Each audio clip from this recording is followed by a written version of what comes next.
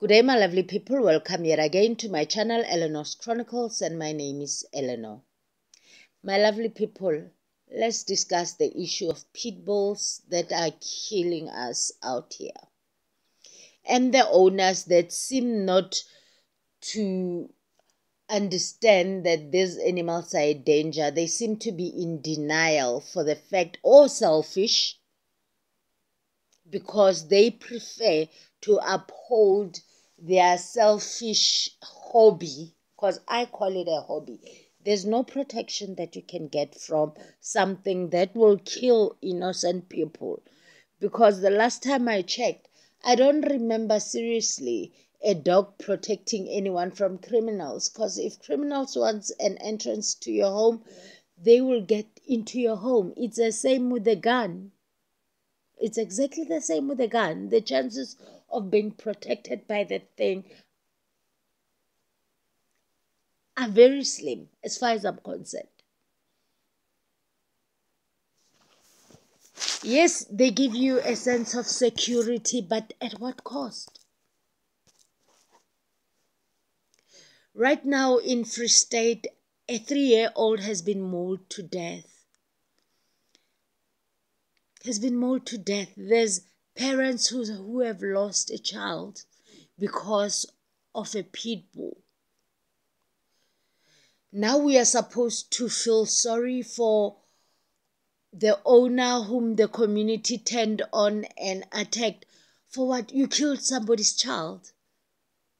Then you go, you get arrested only to get a bail of 300 rands because the owner is now on a 300 rand bail for a life. He killed somebody's child and he gets 300 rands bail. Just 300. You killed somebody's child. That's South African justice system for you. You killed somebody's child. Do you understand that that dog belonged to you? Now a child is dead. We've been telling you and you were telling us that no, there's nothing wrong with a pit bull. It's just that people don't know how to take care of it. You know, you have to uh, get feed it. Uh, then it's a, a child is dead. Thank you very much. A child is dead, and all all you can say now is sorry. Sorry for a life. Sorry. Something that could have been prevented by you not having that dog.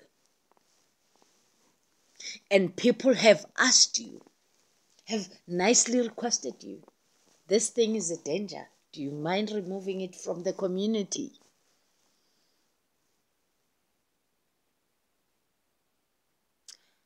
While that is going on in Free State, in Bloemfontein, they've just buried an eight year old who was killed by a pit bull inside his own parents' yard, inside his own home. This pit bull broke through the palisade fence into his own safe into his own safe haven a child died. Why? People.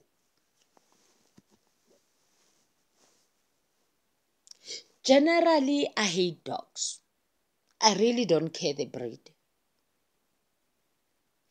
And I get very annoyed because dog owners are so selfish. How do you own a dog eh, while you don't have a gate? Or make it make sense. Why is your dog on the street? I don't like dogs and I want to walk on the street and I don't want to share the street with your dog at all. Why is your dog on the street? Now, me as a human being, I can't walk the street. I have to go find an alternative route so that I can find another idiot's dog on that street as well.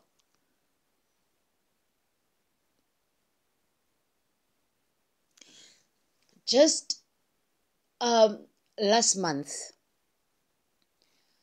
I was trying to go to my aunt's place. Me and my son nearly got attacked by a pack of dogs. They were just walking around by themselves.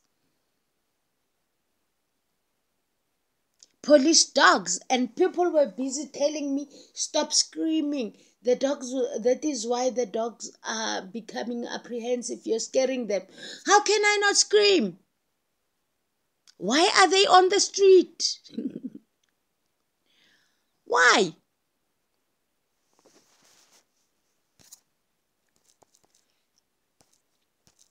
Now I'm so uncomfortable that I can't that I can't go to that area anymore. Cuz I'm so traumatized that I feel that that area only barbarians live there who just leave dogs walking around. It's a field day. It's like the zoo. Mm, Jurassic Park.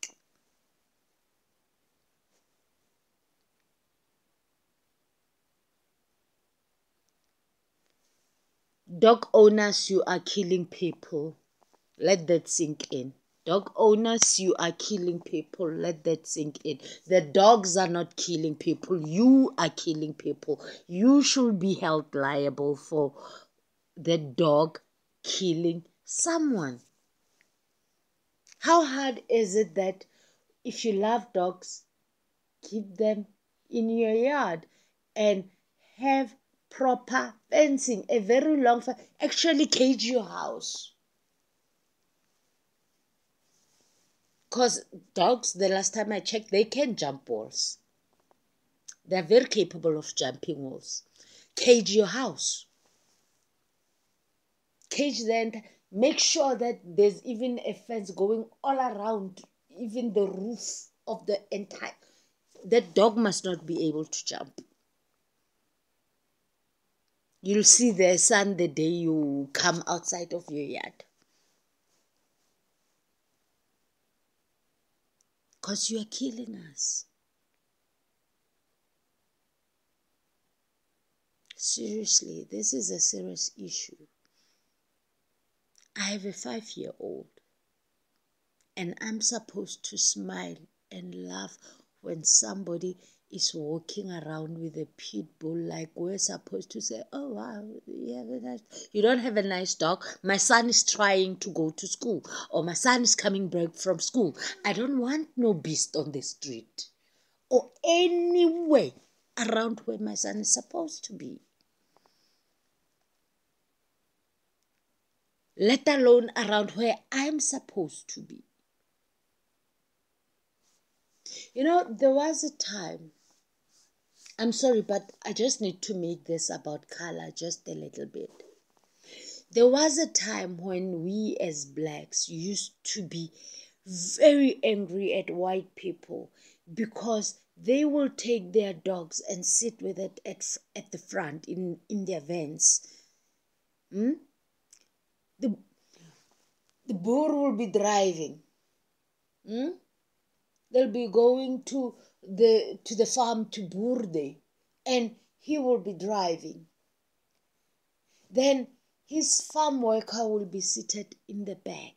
It will be either maybe super hot, it will be raining. It doesn't matter what the elements are outside. But then he did not care to give that space to his worker who is a human being. He would rather give it to the dog. We used to be so mad that whites don't have respect for life. They respect the dog's life instead. Yet today we have reversed. Now it is us. And and worse, with us, we are letting these dogs kill people. At least the bruised dog was not was not eating the farm worker. At least it was not definitely not eating the farm worker.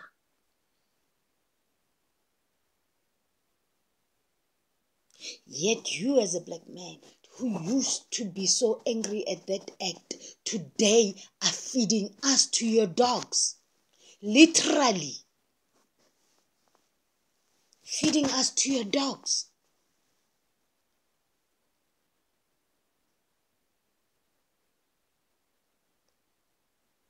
If what the farmers were doing was racism, what do we call what you're doing? Okay, that was racism. Fine, good, sharp. What do we call what you are doing? Because yours is worse. You are feeding me to the dog deliberately.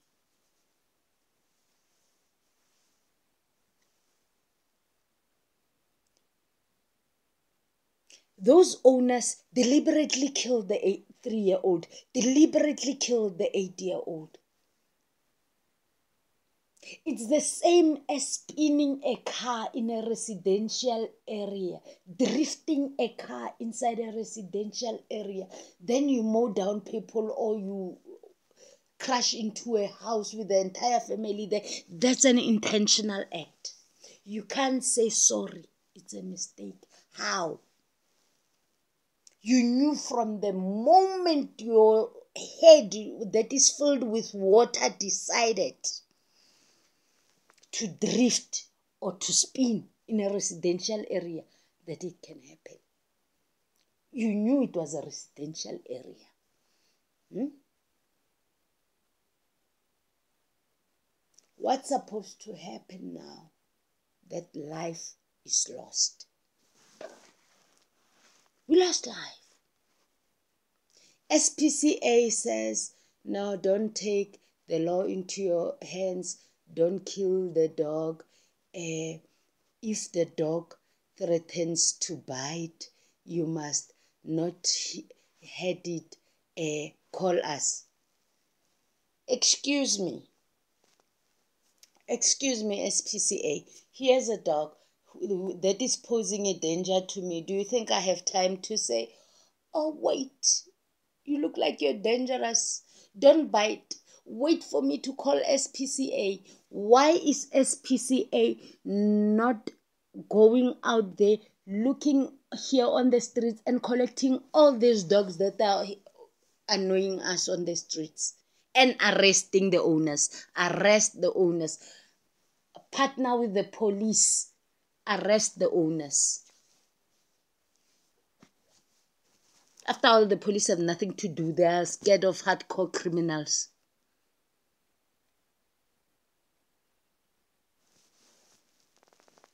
So they definitely they will have time to go hunt down the owners of these dogs.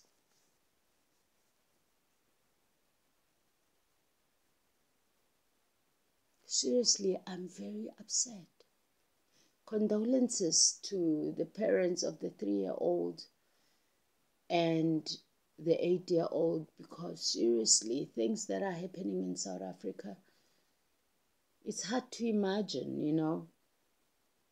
It it's it makes it even hard to sleep because you know for those who are like me who have serious phobia of dogs and you're staying in a township, seriously, dog owners are making our lives a living hell.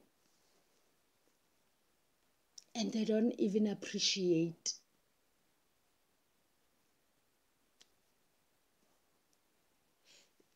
then somebody will tell you, No, don't worry, it doesn't bite.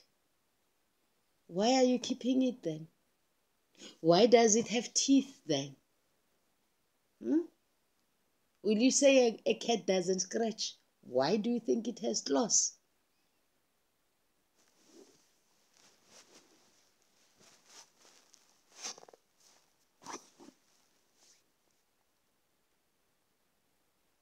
Seriously, people are inconsiderate. Can we just be a little bit kinder? To human beings before animals, preferably. Because if we were as nice to each other as we are to these animals, because somebody doesn't mind giving their pit bull a whole steak 500 gram steak while their neighbor is going to bed hungry. Sis, sis, man.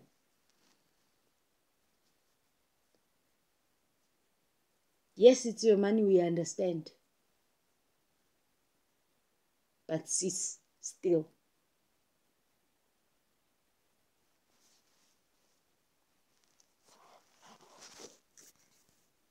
I don't know how you feel about this, but Mina, when it comes to this one, I get really heated up. Please write your comments down below and tell me what do you think about the situation that we're in with uh, the dog owners and if you're a dog owner do you have the appreciation of the next person's life especially when that person says all i need to do is walk in the street without fear. I have no problem never ever coming to your house. That one I can do, even if your family, I can ban you from my list of people I'll ever want to visit. Because even now, family members that have own that have dogs, no, know that they will never see me in their yard. I don't even care whether you tell me you will take it to the cage, you will lock it in a room. I don't give a damn. I'm not coming to your house. So, do you have an appreciation that we really, really don't want an encounter with your dogs? If I want to see animals, I'll go to the zoo. When I'm on the street trying to go to the shop or trying to take a walk, I really don't want a dog anywhere next to me, or a cow, or a chicken, or an anything.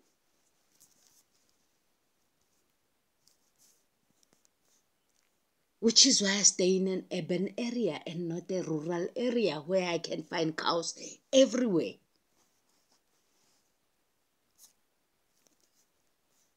Is it possible? that dog owners can be just considerate. Does that word even feature in their dictionaries?